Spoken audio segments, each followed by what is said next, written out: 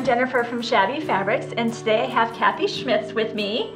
She's going to lead us in a tutorial about how to make dimensional flying geese.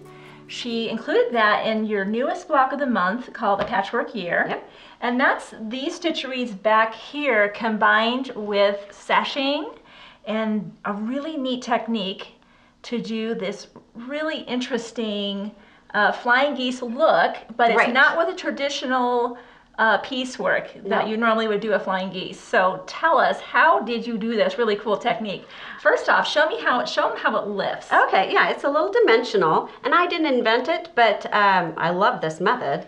So they there aren't they aren't flat down there. They are a little bit dimensional. so cool. And it's just a nice tiny little one uh, on here. So it, uh, to do those, to piece those individually would have taken a lot longer. So this was a very quick method um, of doing it, and, it, and I like that dimension to it too. I do too. Yeah. It, you can you can almost notice the shadow Yeah, yeah. of how it Right. raises up. Right. So it's it almost only, looks like prairie points. it does look like prairie points, but prairie points are really time consuming. right.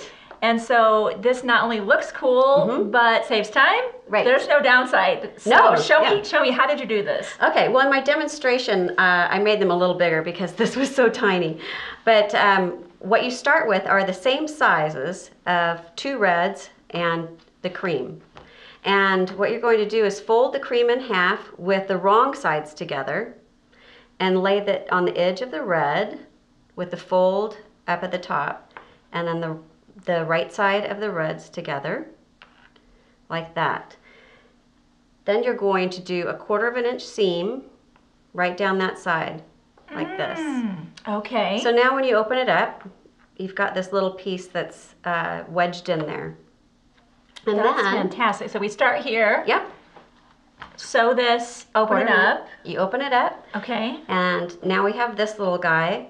And if you open him up, Oh my And gosh. him flat. No way. there's the little diamond shape. And then you press it. So now you have a nice pressed little piece like that.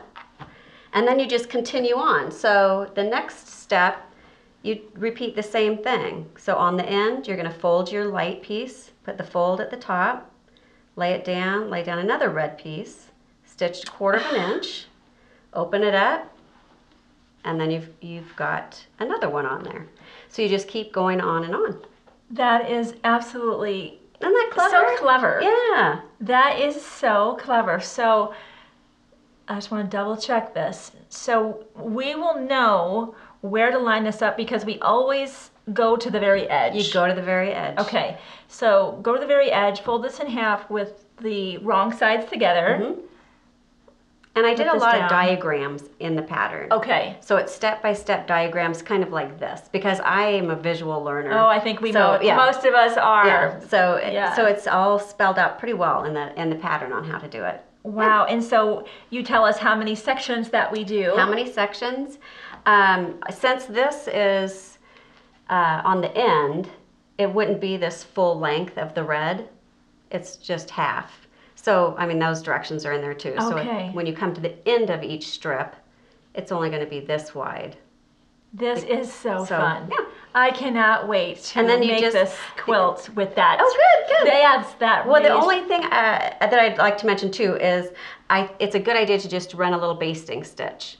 Just to hold them in place, otherwise they're a little loose. So Understood. as long as it's basted, then when you go to stitch it on to your uh, finished piece there, just sew it right on. So you do the basting stitch maybe shy of the quarter inch. Shy quarter inch. Okay, so that way you're not seeing any threads Yep. kind of And coming you don't and have out. to pick them out. You can just leave them in there. Isn't Yeah. that Yeah. so fun? So this is a dimensional flying geese pattern. Mm-hmm. I am so excited to go home and actually now probably design another design a Uh, quilt yeah. that involved in it. So thank you so much for You sharing bet. that with us today and I can't wait to go home and give it a try myself. So can't wait to get another tutorial from Kathy here soon. we'll see what that might include.